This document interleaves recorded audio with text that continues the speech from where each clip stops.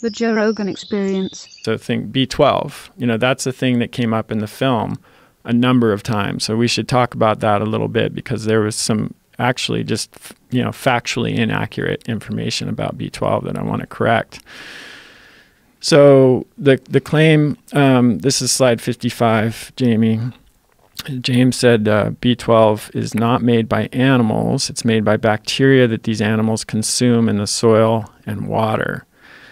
Before industrial farming, farm animals and humans could get B12 by eating traces of dirt on plant foods or by drinking water from rivers or streams. Um, but now, because of pesticides and antibiotics and chlorine that kill the bacteria, this vitamin, even farm that produces animals, this vitamin. yeah, that produces this vitamin, even farm animals have to be given B12 supplements. That's just all false. That's all just factually wrong. So, first of all, B12 is made by bacteria, but it's animals don't get it from consuming soil and water. The the B12 is made by bacteria in their gut. So in ruminants like cows, the uh, in the rumen, which is a chamber in the stomach, the bacteria convert cobalt that they get from grass that they eat into cobalamin, which is B12, and then they are um, foregut fermenters, so they can absorb the B12 they, the bacteria produce in their in- intestines and utilize that themselves. So primates, including humans, also have bacteria that make B12, but we're hindgut fermenters, so we cannot absorb the B12 that our own gut bacteria make. Uh, well, that's not exactly true. Chimps and gorillas can, but that's only because they eat their own poo. Oh, So that is one potential strategy for meeting your Vegan- B12 Yeah, I, needs. don't, You I can hope be you didn't just put that out there. you can be coprophagic. We will find ethical poo eaters. A whole community now of Reddit. Ethical poo eaters is now a new subreddit.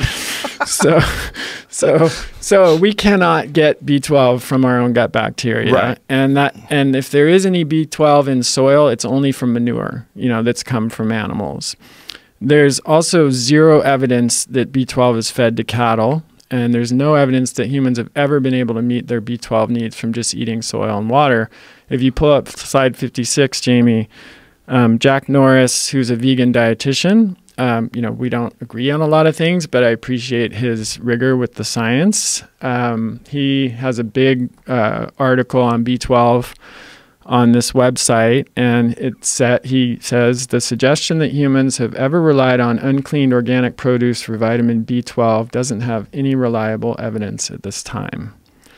So the I, I just I don't know where to go with these that claim because it's just Yes. it's this demonstrably false, Well- even from the perspective of a vegan registered dietitian. Yes.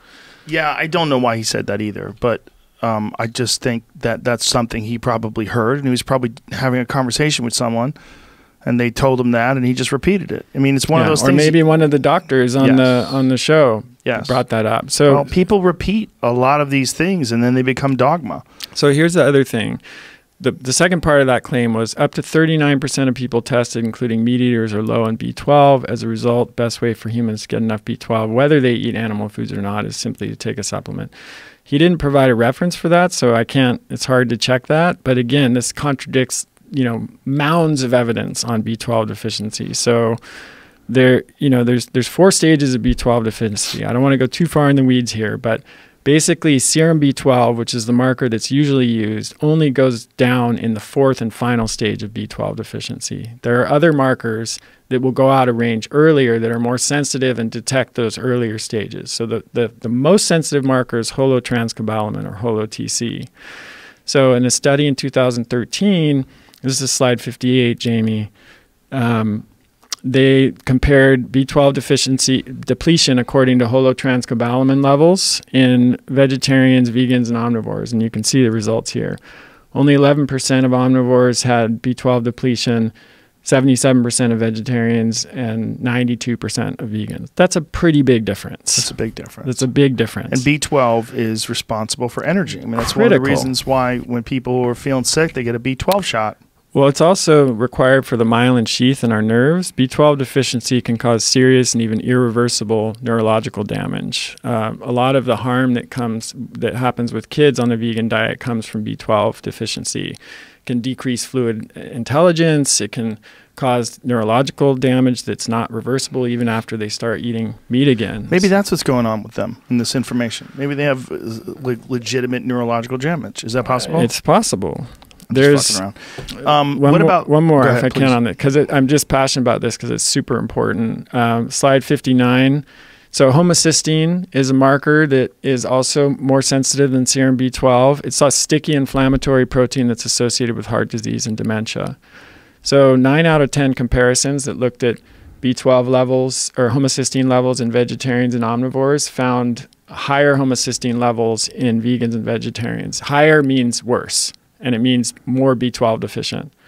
And in fact, the studies they said the prevalence of hyperhomocysteinemia, which is high homocysteine levels reflecting low B12 among vegetarians may actually be higher than among non-vegetarians already diagnosed with heart disease.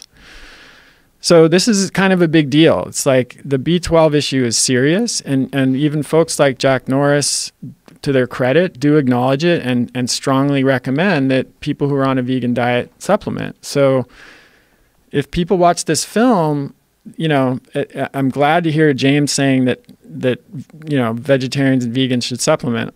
I don't think omnivores need to usually, but you can watch that film and get the idea that that B12, you know, is maybe not that big of a deal. Right, It's a big right. deal.